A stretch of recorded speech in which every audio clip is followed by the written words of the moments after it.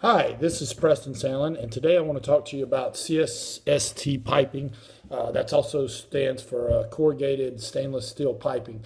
Um, that's a gas line piping that uh, is uh, it can be electrified if it's um, if lightning hits. It doesn't even have to hit the um, the piping directly but it can hit somewhere around and electrify the line and cause um, could cause a fire. So that's why uh, CSST or corrugated stainless steel gas piping, and it's kind of that it's stainless steel, but it has a yellow sheathing usually uh, is required to be bonding. So we're going to go to the graphic now.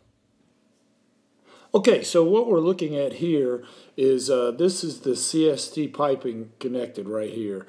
Um, and CSST is uh, corrugated stainless steel uh, piping.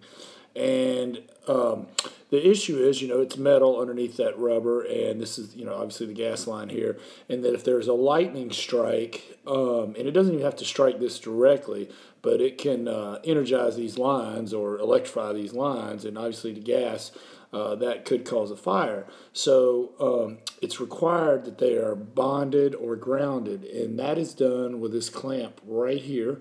Um, and it's uh, bonded on there with a line that's ran to a ground. And that is required if you have CSST piping or corrugated stainless steel uh, gas piping. I uh, hope this um, has been beneficial.